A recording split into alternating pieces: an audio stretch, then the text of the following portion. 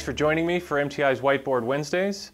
I'm Dan Adams. Today we're going to be talking about the inertia friction welding process. The inertia friction welding process is a variation of rotary friction welding. It's a fixed energy process because we store all the energy that we need in a rotating set of flywheels. This energy can be pre-calculated based on the material that you're joining and the geometry of the weld. So we take these flywheels and we accelerate them up to a desired speed. The speed is represented by the weld line.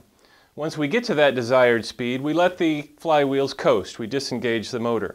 This stores all the energy that we need as kinetic energy. At that point, we bring on the forge force, which is represented by the green line. The forge force controls the power input of the weld. We maintain this forge force throughout the entire process.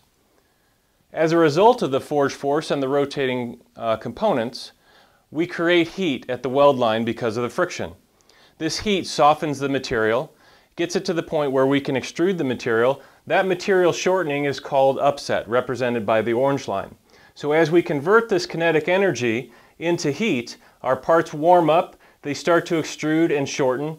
Once all the kinetic energy has been dissipated, the weld is complete. We maintain forge force for a little while longer in order to make sure that we get some cooling of the part, and then the weld is done.